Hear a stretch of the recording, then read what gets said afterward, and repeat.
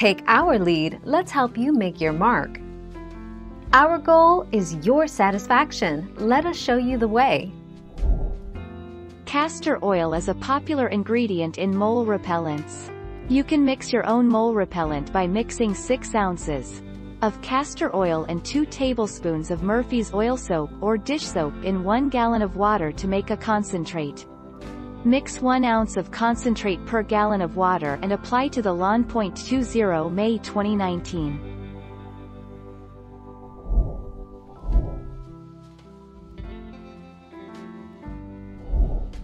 Take our lead.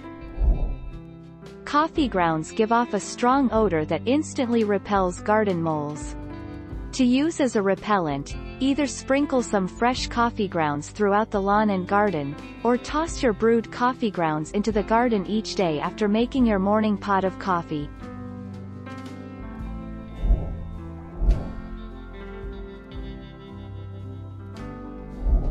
Let's help you make your mark. The main reason that moles invade your yard is to search for food. Their primary food sources are earthworms, grubs, and lawn insects. If no food is available, they won't find your yard attractive.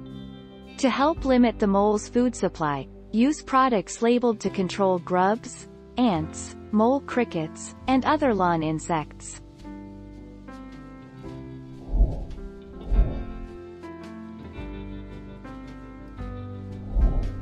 Take our lead.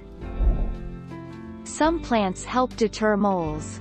Put them around the perimeter of your lawn for a natural, effective and attractive mole repellent. Try marigolds, alliums, fritillarias, daffodils, garlic and shallots.